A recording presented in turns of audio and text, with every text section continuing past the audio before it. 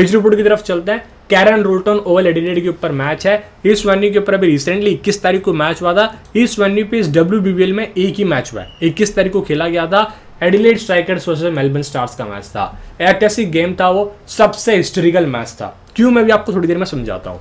हुआ क्या था उस मैच में? एडिलेड स्ट्राइकर्स वाले बैटिंग करने आती है। 177 बनाती है। तीन विकेट गवा के विशाल स्कोर बनाया। और सामने जो टीम थी मेलबर्न स्टार्स 29 रन पे ऑल आउट हो गई। पहली बार इतिहास में ऐसा हुआ था डब्ल्यूबीबीएल के अंदर कोई टीम 30 रन से नीचे ऑल आउट हो गई। ये टीम 29 रन पे ऑल आउट हो चुकी थी।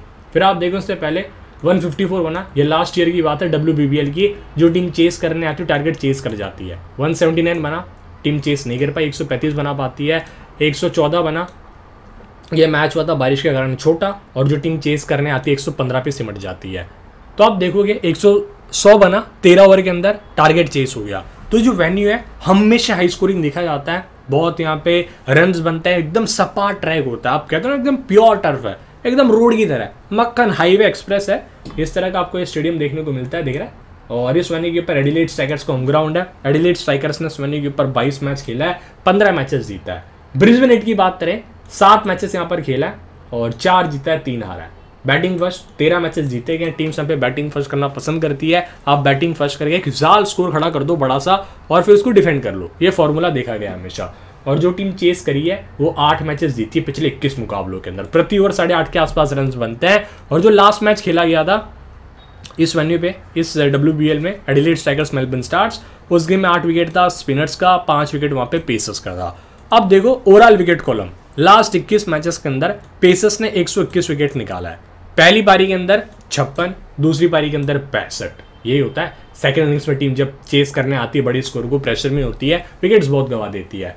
Right arm pacer 120 left arm pacers का एक विकेट है। स्पिनर्स की बात करें 90 विकेट्स हैं। मैं साइड होता हूँ, अच्छे से दिखेगा। पहली पारी के अंदर 48 दूसरी पारी के अंदर 42 ऑफ़ स्पिनर्स का 29 विकेट है लेग स्पिनर्स का 42 लेफ़्ट आर्म ऑर्थोडॉक्स स्पिनर्स का 19 विकेट है। मैं आपको लेके चलता हूँ पिचेस की फ़ोटोज़ की तरफ़। ये वीडियो दिख रहा है आपको? प्ले करूँ उसको मैं? कहाँ गया? प्ले क्यों नहीं हो रहा है वीडियो? एक मिनट। ये वीडियो था बट आप देख सकते हो पिच ऐसी दिखती है। ये दिख रहा है आपको यहाँ पे? मैं मार्क भी कर देता हूँ ये। ग्रास रहती है पिच के ऊपर, बहुत अच्छा ट्रैक देखने को लगता ही है और इसका वीडियो था बट पता नहीं वीडियो क्यों नहीं चला है। और ये आप देखो, ऐसी पिचेस यहाँ पे देखी जाती है आमतौर पर। बहुत अच्छा सरफेस होता है रन्स बनते हैं flat track in the Australia देखा जाता है, इस वन्य के ऊपर। रिसेंटली अभी जैक फ्रेस एमसी सी ने मार्च कप के अंदर 29 बॉल में शतक लगाया था 29 बॉल में। जी हाँ लड़कों का मैच था वो मार्च कप का 50 ओवर का।